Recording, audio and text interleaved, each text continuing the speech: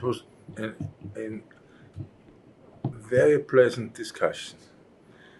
We, we discussed about spiritual things. We talked about the possibilities of quantum information, quantum technology, and about how how the basic fundamental ideas of quantum physics.